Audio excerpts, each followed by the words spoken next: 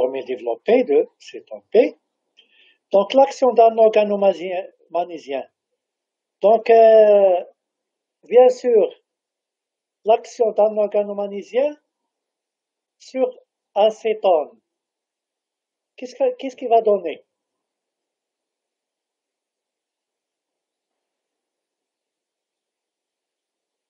Je vous écoute. L'action d'un organo magnésiens sur un cétone.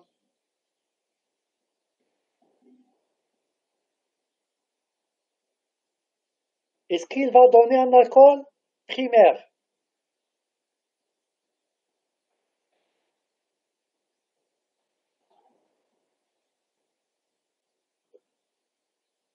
Est-ce que vous m'entendez? Essayez de répondre. On vient de voir votre réaction. Donc si on veut, si on veut obtenir un alcool primaire à partir d'un organo-magnésiens. Le produit de départ, le carbonyle, sera quoi? Sous la forme de quoi?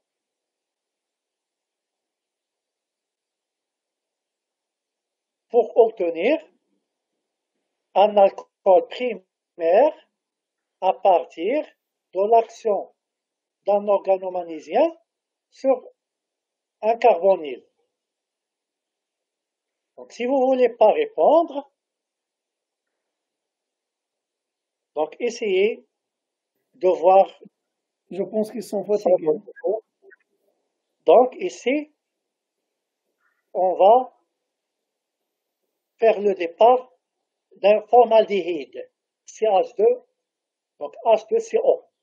Donc euh, le formaldéhyde, la méthanol, avec, réagit avec un organomagnésien pour donner un alcool primaire. Pour donner un alcool secondaire, on va faire le départ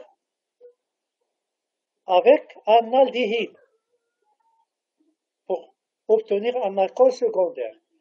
Mais à partir d'un cétone, on va obtenir un alcool tertiaire. Donc l'action d'un organomagnésien, vous le voyez bien. Donc CH3 qui joue le rôle d'attaquant, il va suivre une attaque nucléophile. D'accord? Il va attaquer le carbone, le groupement carboné du côté opposé.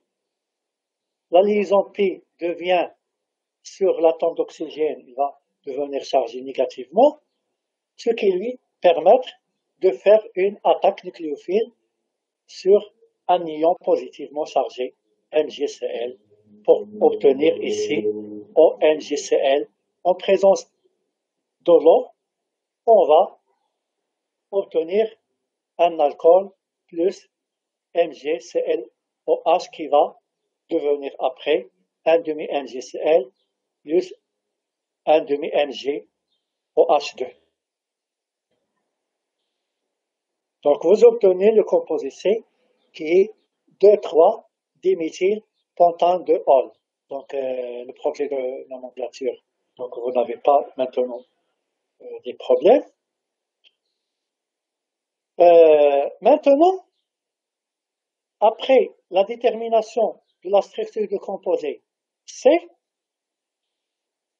ce dernier va se déshydrater en milieu acide pour donner de produits. Donc, euh, C est un alcool.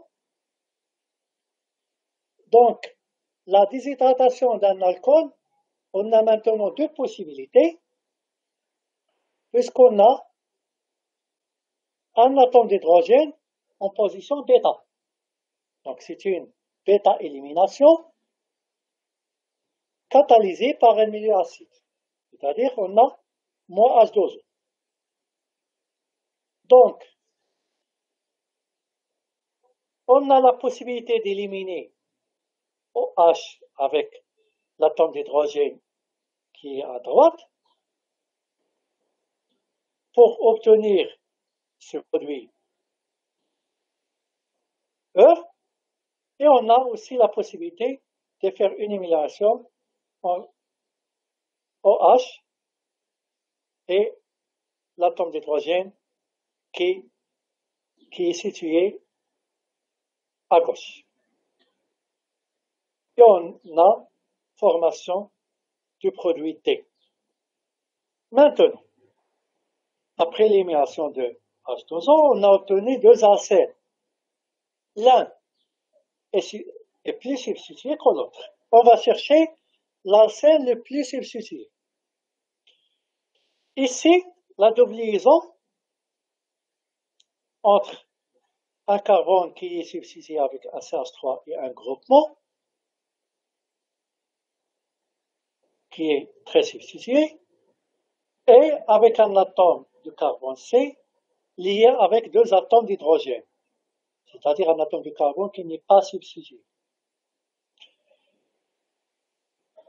Pour euh, le produit T, vous avez la formation de la liaison entre deux carbones. Le carbone qui est à droite est doublement lié et lié avec CH3, désubstitué avec CH3. De même, le carbone qui est situé à gauche, ou l'a localisé à gauche, elle est liée avec CH3 et avec C2H5. Donc, c'est clair que le produit D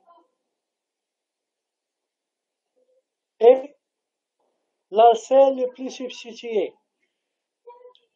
Donc, euh, une déshydratation d'un alcool conduit majoritairement à l'acide le plus substitué ou à l'acide le moins substitué, selon la règle de Zaitsev.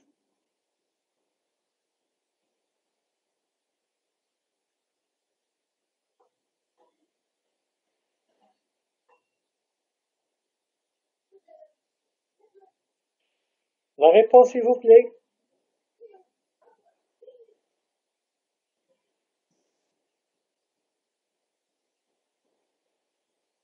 Si, on vous demande de donner le mécanisme, donc pour gagner du temps, on n'a pas l'intérêt. Et si ça, c'est un examen d'une heure et quinze minutes, donc c'est pas la peine de, euh, de donner plusieurs. Euh, donc, on donne seulement les questions qui sont euh, qui peuvent être traitées dans le temps convenable.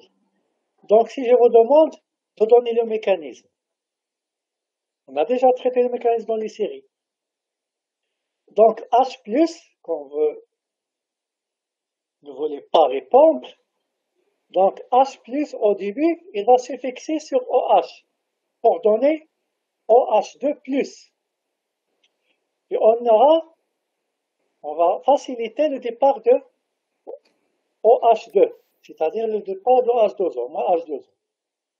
Et on va former un carbocation. Donc, on va chercher le carbocation qui est le plus stable. C'est le carbocation qui va se former se former prioritairement, c'est-à-dire majoritairement. C'est le départ de H2O ici. Ici, on a une carbocation stabilisée par CH3 et CH3. Par contre, si on a le départ Donc, euh, euh, donc ici, on a la formation de carbocation. Très bien.